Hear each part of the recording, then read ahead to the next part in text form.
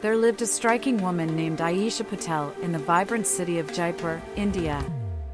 Aisha was not only known for her breathtaking beauty but also for her exceptional skills as a professional badminton player. Her presence on the court was nothing short of enchanting, capturing the attention of both fans and opponents alike.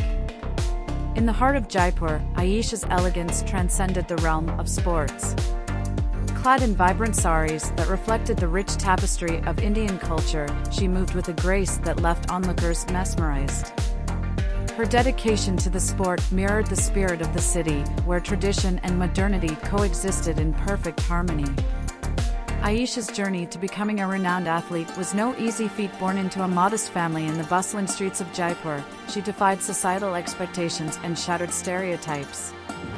Through sheer determination and countless hours of training, Aisha emerged as a symbol of empowerment, proving that elegance and strength could coalesce seamlessly.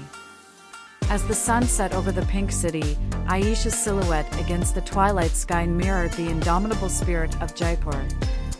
Her success echoed through the narrow alleys and open markets, inspiring a new generation of young athletes to dream beyond convention.